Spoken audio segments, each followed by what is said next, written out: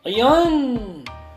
Magandang magandang araw naman po sa ating lahat mga kasigla.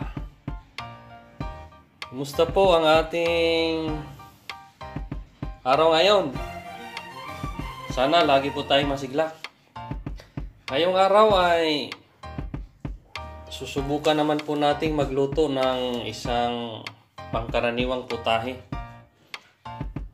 Ah, ang ating putahe po ay tinatawag na beef apritada. Medyo malamig na po kasi sa labas kaya hindi na po tayo masyado makagala. At saka medyo naghigpit na naman ang gobyerno dito. Kaya dito na lang tayo sa bahay. Mag magluluto na lang tayo para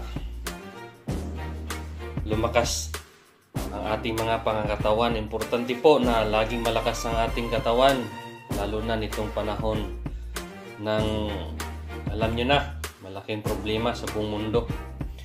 Ito po ang ating mga ingrediente. Siyempre, ang ating beef, karning baka. Yan. Ayan po siya. Saka hahaluan din po natin siya ng atay at puso ng manok. Mm.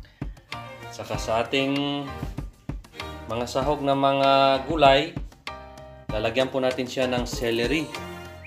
Dito, kukuha lang po tayo ng mga dalawang tangkay nitong celery. Saka itong ating bell pepper. Dalawang malaking bell pepper na pula. Ayan. Tsaka kamatis. Yan. Limang pirasong malalaki. Ito lang po ang ating gagamitin ng mga pangpasarap. Tapos ang ating olive oil. Ito. Tsaka asin. At tsaka pep, ah, paminta. Sibuyas na malaki. At tsaka bawang. Ito. Uubos po natin to. Saka karote. Dalawang piraso. Tsaka tatlong pirasong carrots. Yan lang po ang ating mga pangsahog. Ibig lang po nating malasahan ang lasang natural. Na po tayo maglalagay ng mga kakaibang pampalasa. Ayan. Ngayon, natin na pong pisahang hugasan at gayat-gayatin ang ating mga sangkap. Okay.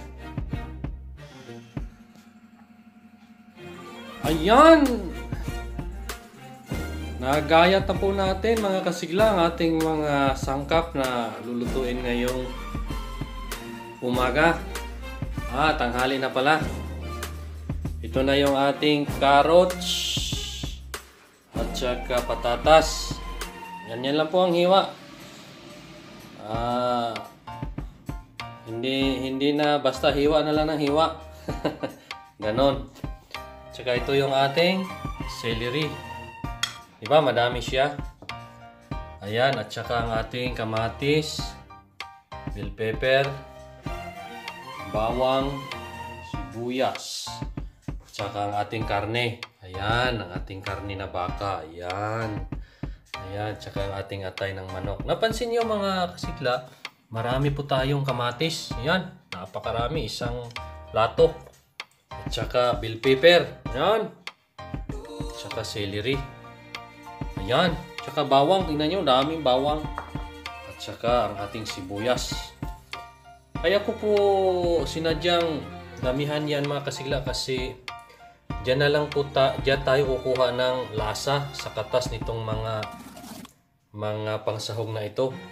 Itong katas nitong kamatis na ito. Matamis po itong kamatis na ito. At saka itong bell pepper na ito matamis po ito. Kaya yan ang ating uh, pagkukunan ng lasa. Tsaka itong ating celery. Ang lasa po nito ay medyo matapang. Ito po yung pangpalis natin sa kunting langsa nitong ating atay at saka baka. Kaya medyo marami po ang ating celery. Ayan. Dito po, napakalakas po kumain ng mga matatanda dito sa Italia ng celery. Ginangat-ngat lang po nila ito kasama ng carrots. Yan.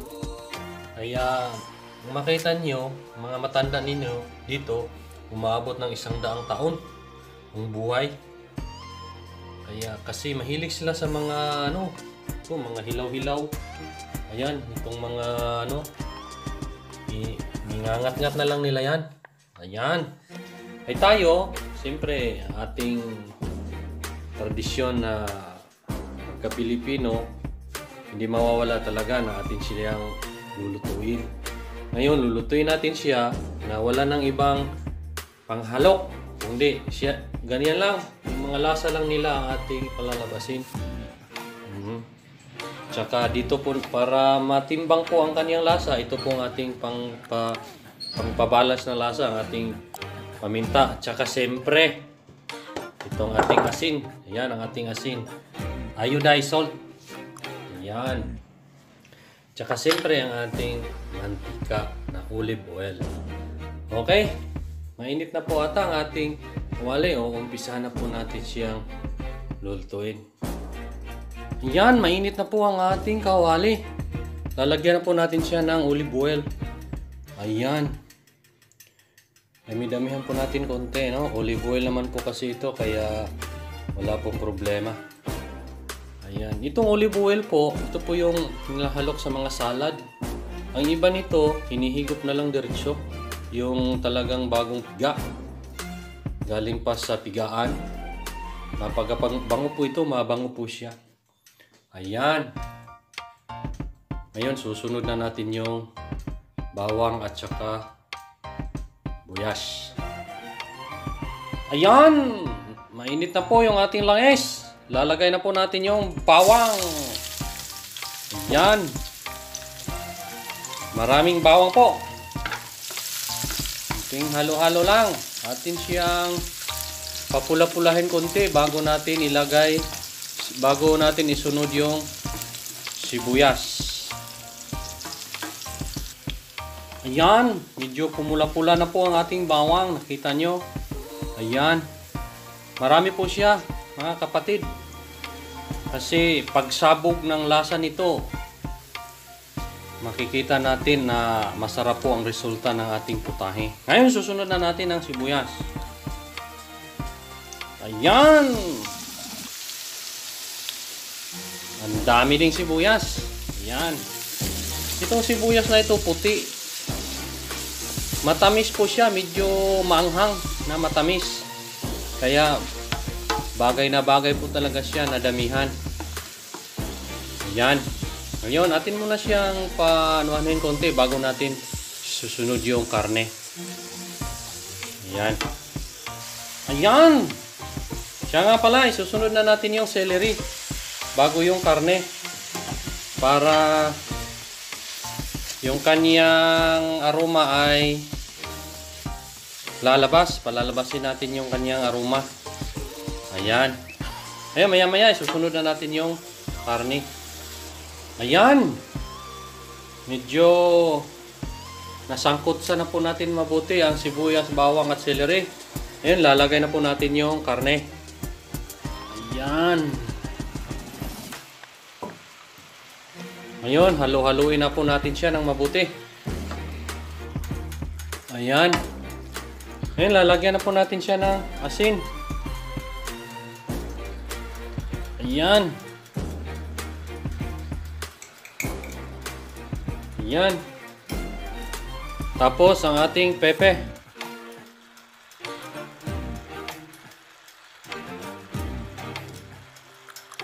Ayan. Tapos, saluin na po natin muli. Ayan, halo na po natin ang mabuti. Lalagyan na po natin siya ng kunting tubig. Tamang-tama lang po na maluto yung karne. Kasi maya-maya lalagay na agad natin yung ano. Ayan, mainit po ito na tubig. Kumukulo. Yun. Tama na yun. Tapos haluin natin uli. Ayan. Takpan na po natin ito. Tapos maya-maya, mga ilang minuto, lalagay na natin yung kamatis at saka bell pepper. Ayan! Nakalipas na po isang saglit. Lalagay na natin yung bell pepper. Isang bandihadong bell pepper. At saka kamatis. Ayan!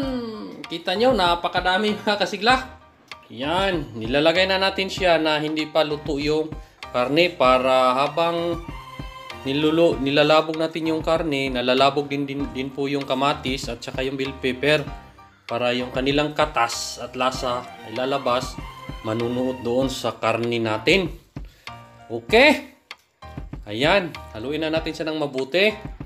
Tapos, takpan na natin hanggat kumulo siya ng kumulo sa mahina na apoy hanggat maluto siya. Ayan! Medyo malambot-lambot na po ang ating karne. Mga kasigla. Kita ninyo? Natunaw na yung kamatis at saka bell pepper. At saka kita nyo yung kulay. Naging medyo orange so dilaw na siya. Yan po yung katas ng kamatis, sibuyas, at bell pepper. Ayan. Ngayon, lalagay na po natin yung patatas at karote. Ayan! Haluin na po natin ng mabuti. Pagka po ay nal- pagka naluto na po itong patatas at karote, carrots, luto na po siya. Pwede na po natin siyang tikman. Haluin po natin siya ng mabuti. Ang paghahalo po natin ay huwag nating kalimutan ay samahan natin ng isang cube na pagmamahal. Yan! Okay. Takpan na po natin uli. At antayin na nating maluto yung carrots at patatas. Ayan! Luto na po mga kasigla ang ating putahe ngayong araw. Ating beef apritada. Yan, nagsasabaw po yung kamatis at saka yung bell pepper. Niluto po natin siya ng mga ha- halos dalawang oras sa mahina na apoy. Ayan, pwede na po nating tikman. Ayan. Tingnan natin. Ayan! Talagang natural lang po ang lasa. Matamis po siya dahil doon sa kamatis at saka bell pepper at saka yung aroma ng celery. Atin pong nalalasahan. Ayan! Okay, salamat po sa inyo ha, sa inyong pagsubaybay. Huwag niyo pong kalimutan sanang i-subscribe ang ating maliit na channel at pindutin na rin nyo at pakipindot na rin po sa bell button para ma-update po tayo sa mga susunod nating mga kaganapan. Okay, ingat po kayo lagi. Ingat po tayo laging lahat. Kumain ng marami, ng malulusog. Para maging malusog, kumain tayo ng mas, masustansyang pagkain. At iwas-iwasan po natin ngayon ang paglabas-labas ano kasi medyo delikado na naman po ang sitwasyon ng ating isang libutan. Okay, salamat po sa lahat at magandang araw, masiglang araw po sa inyong lahat.